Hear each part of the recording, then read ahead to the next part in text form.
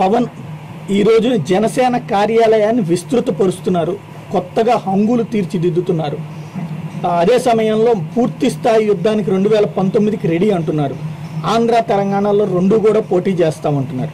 ఈ సమయంలో రెండు కీలకమైనటువంటి విషయాలు పవన్ కళ్యాణ్ గుర్తుంచుకోవాల్సింది. ఒకటి కార్యాలయం హైదరాబాద్లో ప్రధాన కార్యాలయం ఉండటం. ఓకే అది రెండు రాష్ట్రాలకు కలిపి అనుకుందాం. ఆంధ్రప్రదేశ్లో ఒక ప్రధాన కార్యాలయం ఏర్పాటు చేయాల్సినటువంటి అవసరం ఉంది. ఎందుకంటే ఇప్పటికే YSR Congress party Telugu Desam party గుంటూరులో పెడితే వైఎస్ఆర్ కాంగ్రెస్ పార్టీ విజయవాడలో పెట్టింది. ఆల్రెడీ విజయవాడలో కాంగ్రెస్ పార్టీ మొట్టమొదట తన పాత కార్యాలయం ఆంధ్రరత్న భవన్ రాష్ట్ర కార్యాలయంగా మార్చేసుకుంది. ఈ రోజున పవన్ కళ్యాణ్ తన కార్యాలయం అసలు ఆంధ్రాలో పెడతారా లేదా అన్నటువంటిది. ఎందుకంటే ఇక్కడ నడవాల్సిన పోరాటం అంతా కూడా తను చెయ్యాలనుకుంటున్నటువంటి ఎన్నికల్లో నిలబడాలనుకుంటుంది ఆంధ్రప్రదేశ్లో కాబట్టి. ఆంధ్రప్రదేశ్ కార్యాలయం విస్తృత కార్యాలయం కోస్తా జిల్లాల్లోనో లేకపోతే ఎక్కడ పెట్టినా పర్లేదు రాయలసీమలో పెడతానన్నా పర్లేదు బట్ ఆంధ్రప్రదేశ్ కార్యాలయం అయితే ఆంధ్రప్రదేశ్లోనే ఉండాల్సినటువంటి అవసరం ఉంది. అదే సమయంలో తెలంగాణలో కూడా పోటీ చేస్తారా? పోటీ చేస్తే ఎవరితోనైనా పొత్తు పెట్టుకుంటారా? అక్కడ ఉన్నటువంటి ఆంధ్ర వాళ్ళ కోసం పోటీ చేస్తారు? లేకపోతే ఆంధ్ర తెలంగాణ ఇద్దరికీ కూడా సమన్యాయం చేస్తామన్నటువంటి తన అన్నయ్య ధోరణిని కంటిన్యూ చేస్తారా? అదే జరిగితే సమన్యాయం అంటే ఏ విధంగా చేస్తారు? ఆంధ్ర వాళ్ళకి హైదరాబాద్లో ఉద్యోగాలు కల్పిస్తారా? తెలంగాణలో ఉద్యోగాలు కల్పిస్తారా?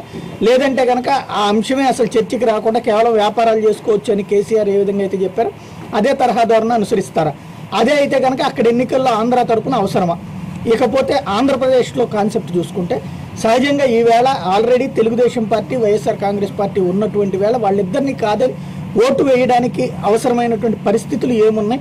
మీరు వస్తే ఏం చేస్తారు? రా ఈ రోజున మీరు లేవనెత్తినటువంటి స్పెషల్ స్టేటస్ అంశాన్ని ఒక విధంగా పవన్ కళ్యాణ్ తీసుకొచ్చినటువంటి తర్వాతన మళ్ళీ అంతకుముందు నలభై ఎనిమిది గంటల దీక్షలు చేసినటువంటి జగన్ కూడా ఇప్పుడు పూర్తి స్థాయిలో పాదయాత్రకి దాన్నే ఎజెండాగా ప్రకటించుకునేటువంటి సిచ్యుయేషన్ తేవడానికి కారణం మాత్రం పవన్ కళ్యాణ్ అదే అంశాన్ని పట్టుకుని రేపు ఎన్నికలకు వెళ్ళబోతూ ఉండటం.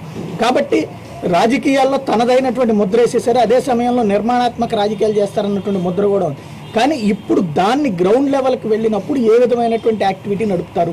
గ్రౌండ్ లెవెల్లో సాధ్యమయ్యేటువంటిది ఏంటి? ఇప్పుడు అది స్పెషల్ స్టేటస్ అంశమే.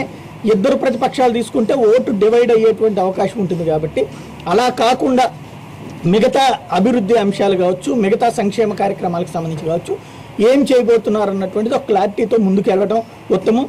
పవన్ కళ్యాణ్కి రావడానికి అవసరమైనటువంటి స్పేస్ ఉంది. ఎలక్షన్స్లో ఆంధ్రప్రదేశ్లో ప్రత్యేకించి Telugu Desam party YSR Congress party ఒకటి ప్రతిపక్షం ఒకటి అధికార పక్షం అయితే మధ్యలో ఉన్నటువంటి తటస్థులు మొన్నటిదాకా భారతీయ జనతా పార్టీతో ఉంటే ఇప్పుడు ఆ భారతీయ జనతా పార్టీ వెళ్ళి తెలుగుదేశంతో కలిసినటువంటి నేపథ్యంలో తటస్థుల కోసం ఇంకొక పార్టీ లేనటువంటి పరిస్థితి ఇంకోటి తెలుగుదేశం వైఎస్ఆర్ కాంగ్రెస్ పార్టీ మీద ఎవరికైనా కోపం వచ్చినా అందులో ఉన్నటువంటి అభిమానులు వేరే వైపుకి వెళ్ళాలన్నా కూడా వాళ్ళకి ఒక షెల్టర్ లేనటువంటి లేదా వాళ్ళందరూ కూడా తమ వైఖరి వెల్లడించుకోవడానికి తమ వైఖరికి అనుగుణమైనటువంటి పార్టీ లేని పరిస్థితి ఉంది. దానికి పవన్ కళ్యాణ్ ఎంట్రీ అన్నటువంటిది పవన్ కళ్యాణ్ ఇక్కడ క్రియాశీల రాజకీయాలు చేయబోవడం అన్నటువంటిది కీలకం. మంచికి పరిణామం కూడా. ఇప్పుడు ఇక చేయాల్సిందల్లా ఆ యాక్టివిటీ ఏవైతే మనం ఇప్పటిదాకా చెప్పుకున్నామో క్రైసిస్ ఇష్యూస్లో లేదంటే సంక్షేమ ఇష్యూస్లో ఏ విధంగా తీసుకొస్తారన్నటువంటిది ఒక నిర్మాణాత్మకమైనటువంటి నిర్ణయాలు ప్రకటించాల్సినటువంటి సమయం వచ్చింది. అలా చేస్తారని చెయ్యాలని ఆశిద్దాం.